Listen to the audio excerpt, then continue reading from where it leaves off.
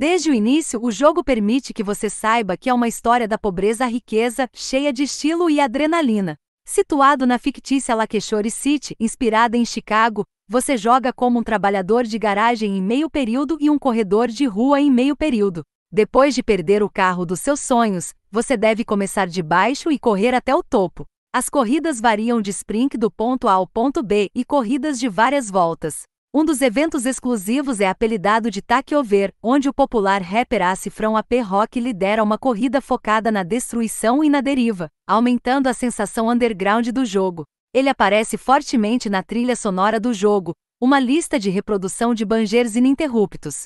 Ele permanece principalmente no gênero hip hop, adicionando a estética do corredor de rua underground, mas também adiciona muita música estrangeira.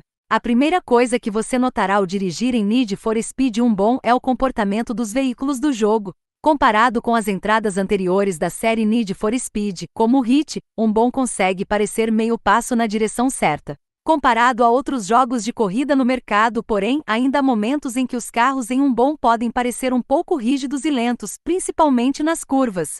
Falando em curvas, a deriva emite tons de calor, pois é mais uma batalha do que um recurso bem integrado em um bom.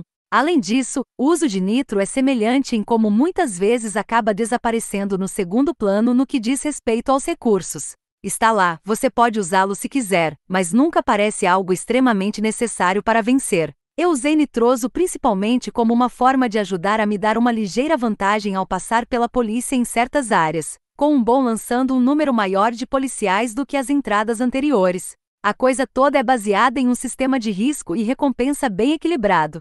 Quanto mais corridas fizermos em um determinado dia, mais atrairemos a atenção da polícia, que enviará carros de polícia mais rápidos e duráveis contra nós, além de helicópteros e bloqueios de estradas. Graças a isso, o jogador deve planejar cuidadosamente suas ações, decidindo quais competições valem a pena participar e quais podem ser puladas. As próprias corridas já não estão espalhadas pelo mapa, passando a existir vários pontos de encontro de pilotos na cidade, onde podemos escolher a competição que nos interessa a partir do pool disponível num determinado rally. O novo tipo de competição é Rosvalka, uma reminiscência da gincana, conhecida da série Dirt, que é uma combinação de uma competição de deslizamento com a quebra de objetos colocados na pista. O jogo é estruturado em torno de duas coisas: dinheiro e calor. Para restaurar sua garagem ao seu apogeu, você precisa vencer corridas de rua de todos os tipos. No entanto, fazer essas corridas também aumenta seu calor, ou quantos policiais querem derrubá-lo, da mesma forma que as estrelas de nível de procurado de Grand Theft Auto.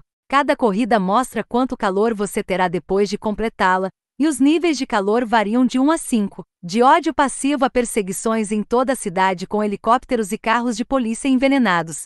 Embora você possa gastar dinheiro em carros, atualizações e roupas novas, nada disso é seguro até que você descanse durante o dia.